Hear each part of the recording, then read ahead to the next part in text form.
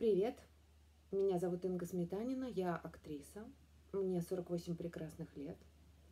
Я выпускница ГИТИСа и замечательного мастера Олега Львовича Кудряшова. Какая я? Я не похожая, другая. Я не вписываюсь в привычные стандарты внешности. Я огневая, здорово пою, да? Обожаю свою профессию, стараюсь все в ней делать профессионально и с любовью. Очень хочу сняться в историческом кино, особенно в военном.